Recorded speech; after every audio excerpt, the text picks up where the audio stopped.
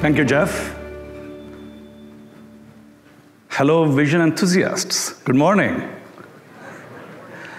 Making invisible visible inside our bodies, the world around us, and beyond with machine learning, data, and devices.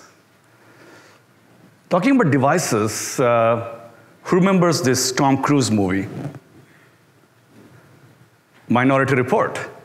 You know, Tom is walking through the shopping mall, and his you know, eyes are getting scanned, in this case for targeted advertising, but making the patterns on his eyes visible. But what if I told you that it's easier for me with a camera technology to see the retinal structure, the back of your eye, at 5 micrometer resolution, it's easier for me to do that than look at the 5 micrometer resolution on your skin.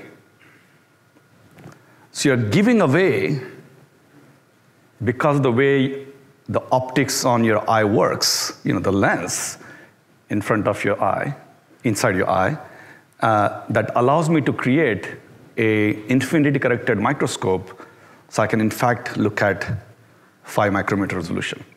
And with that, we can look at the retinal hemodynamics, which is a fantastic predictor or indicator of your cardiovascular health for hypertension and stroke and diabetes and so on.